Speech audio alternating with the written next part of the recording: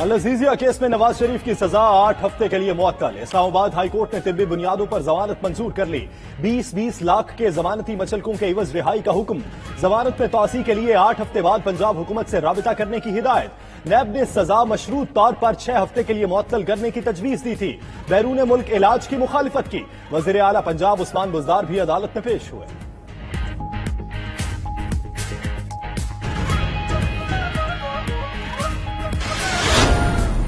نواز شریف کا گردوں کا مرض شدت اختیار کر گیا۔ میڈیکل بورڈ کی ٹیم میں ایک اور ڈاکٹر کا اضافہ کر دیا گیا۔ نواز شریف کے گردوں کے ٹیسٹ میں یوریا کریٹنین معمول سے زیادہ ہے۔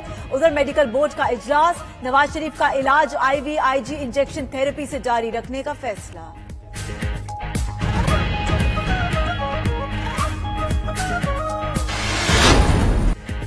خدشہ ہے نواز شریف کو کہیں کھو نہ دیں۔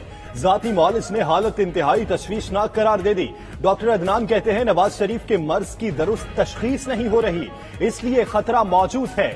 بعض ادویات دیگر بیماریوں کے باعث روکنا پڑی ادھر نیب کا ڈاکٹر عدنان کے مبینہ منفی پروپیگنڈے پر تنبیہی خط۔ کہا، انہیں نواز شریف کے معائنے کی ہمیشہ اجازت ملتی رہی ہے۔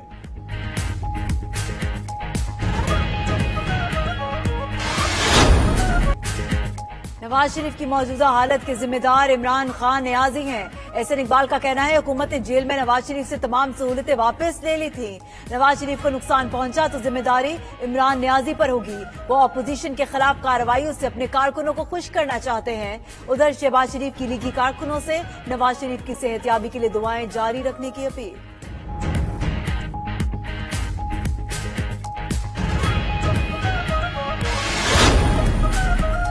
ڈاکٹر فردوس آشی آشکوان نے پھر نواز شریف پر تنز کے نشتر چلا دیے۔ کہا، ہم سیاست کے اکھاڑے میں ہوتے ہیں تو نوری نت ہوتے ہیں۔ قانون کے شکنجے میں آتے ہیں تو اسپتال پہنچ جاتے ہیں۔ خاکان صاحب کے گردے میں بھی پتھری نکل آئی۔ دیکھیں گے باقی قیدیوں کو بھی چھٹی والے دن عدالت لگا کر ریلیف دیا جاتا ہے یا نہیں۔ فیصل جاوید بولے، لیگی رہنما نواز شریف کی صحت پر سیاست کر رہے۔ ہیں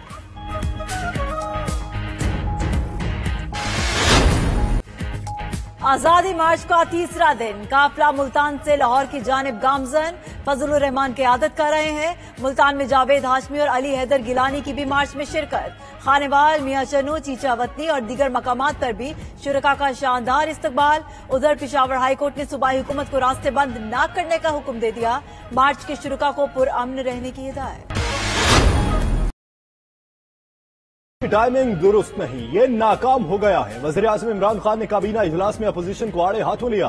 کہا آزادی مارچ کا کوئی خوف نہیں۔ اپوزیشن اب چار سال انتظار کرے۔ کسی کو قانون ہاتھ میں لینے کی اجازت نہیں دیں گے۔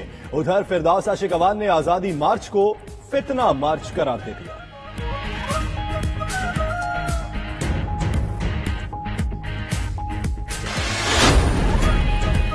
وزیراعظم کی زیر صدارت کابینہ اجلاس، اندرونی کہانی کا 92 نیوز نے پتہ چلا لیا۔ ذرائع کے مطابق فردوس عاشق عوان نے ساتھی بزرا کے رویے پر شکوا کیا۔ کہا، پیمرا کے فیصلے پر حکومتی ارکان نے ایسے تنقید کی جیسے وہ اپوزیشن میں ہو۔ فواد چودھری بولے سب کی تب ہوتی ہے جب فیصلے کر کے گھنٹوں میں واپس لے لیے جاتے ہیں۔ جو فیصلے غلط ہوں، وہ کس طرح مان لے؟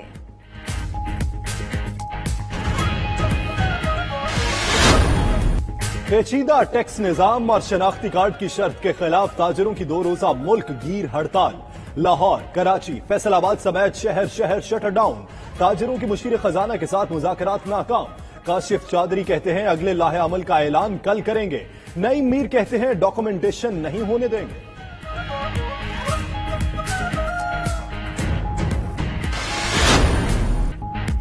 جے یو آئی کے رہنما حافظ حمداللہ کی پاکستانی شہریت بحال۔ اسلام آباد ہائی کورٹ نے نادرا کی جانب سے شہریت منسوخی کا فیصلہ معطل کر دیا۔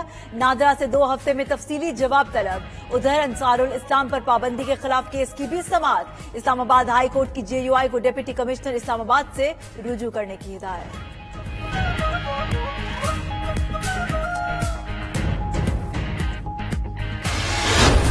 ٹل گیا۔ محکمہ موسمیات کے مطابق سمندری طوفان کے آر دو نومبر تک یمن کے قریب خلیج ودن میں ختم ہو جائے گا۔ اس دوران کراچی سمیت زیری سن میں درمیانی بارش کا امکان ہے۔ ربیع الاول چودہ سو اکتالیس ہجری کا چاند نظر آ گیا۔ مرکزی رویت ہلال کمیٹی کا اعلان، جشن عید میلاد النبی صلی اللہ علیہ وسلم، بارہ ربیع الاول کو اتوار دس نومبر کو منائی جائے گی۔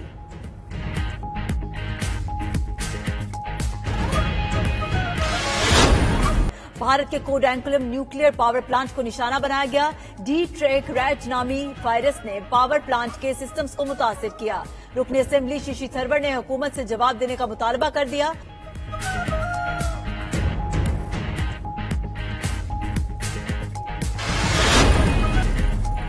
بکیوں کے بار بار رابطہ کرنے کا فوری طور پر کیوں نہیں بتایا؟ آئی سی سی نے بنگلہ دیش کرکٹ ٹیم کے کپتان شکیب الحسن پر دو سال کے لیے کرکٹ کھیلنے پر پابندی عائد کر دی۔ سٹار پلیئر شکیب الحسن نے غلطی کا اعتراف کر لیا۔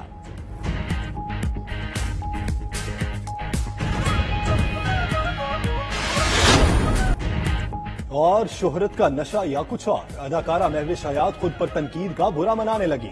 ناقدین کو اپنے کام سے کام رکھنے اور منہ بند رکھنے کا مشورہ دے ڈالا۔ مہوش حیات کہتی ہیں، ان پر تنقید کرنے والوں کو اپنا دماغ اور ذہن کھولا رکھنا ہوگا۔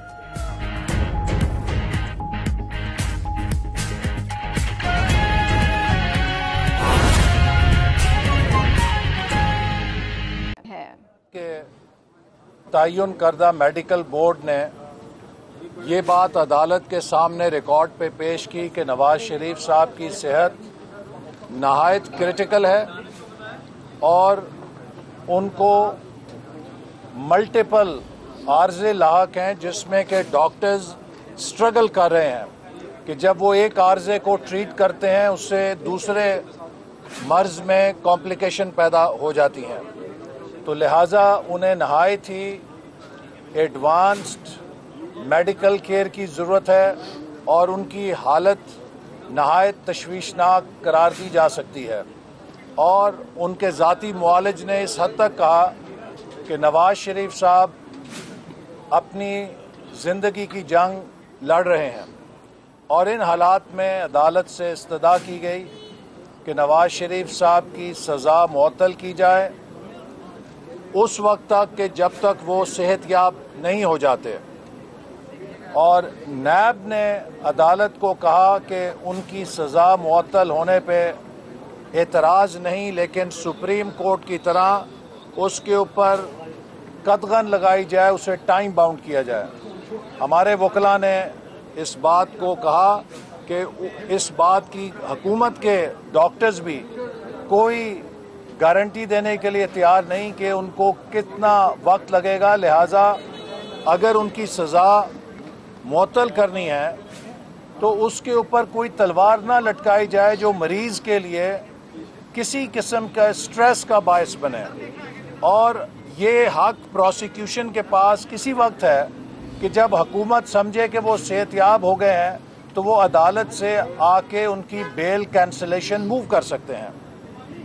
یہ دلائل سننے کے بعد آج عدالت نے ان کی سزا کو آٹھ ہفتے کے لیے معطل کیا ہے اور جو ابتدائی ابھی وہاں سمجھ آئی ہے، اس میں انہوں نے غالباً یہ کہا ہے کہ اس دوران صوبائی حکومت کو اپلائی کیا جائے تاکہ اگر مزید ضرورت ہے تو وہ اس میں اضافہ کر سکتی ہے۔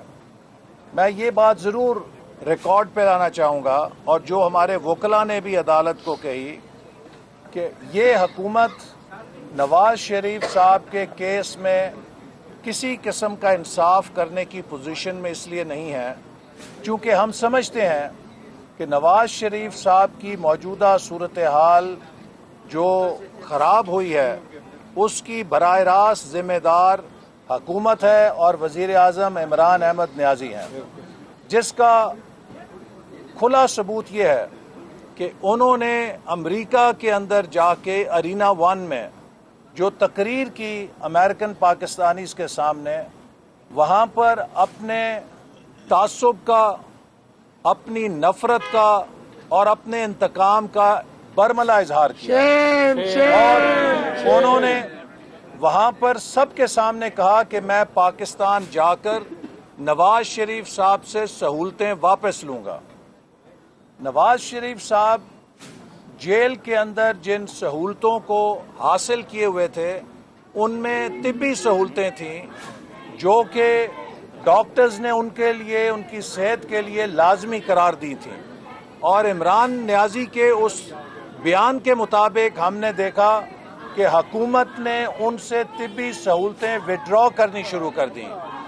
اس بارے میں ان کی بیٹی نے بھی بار بار اعتراض اٹھایا اور اس بارے میں ان کے ذاتی معالج نے بھی بار بار اعتراض کیا کہ ان تک رسائی نہیں دی جا رہی اور اس نگلیکٹ کا آپ نے دیکھا یہ نتیجہ نکلا کہ آج نواز شریف صاحب اس نازک صورتحال تک پہنچ گئے ہیں اور ہم یہ متنبع کرنا